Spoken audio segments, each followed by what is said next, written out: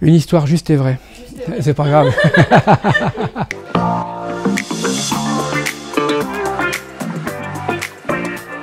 « 33 ans et 33 ans de bonheur. Une agence de campagne, c'est une agence qui ne se prend pas la tête, c'est une agence qui ne jargonne pas, qui écoute ses clients, qui parle à ses clients d'une façon simple euh, et qui essaie de répondre à ses besoins en permanence. Et en prime, on est à la campagne, donc on adore ça. Album est né en 1989, c'est-à-dire au siècle dernier.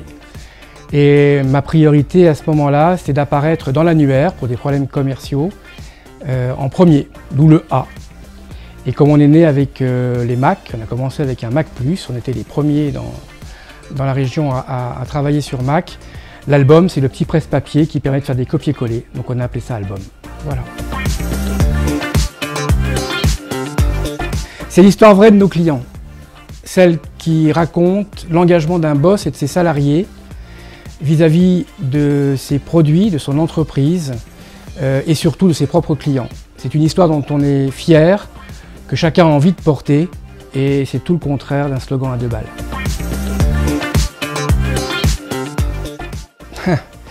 Celle du bagnard, quand on a tagué album, c'était le 1er avril 22, les 33 ans de l'agence, date anniversaire.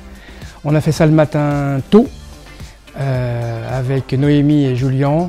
On s'est bien marré, comme des gosses, on a rigolé, euh, et c'était un moment très très sympa.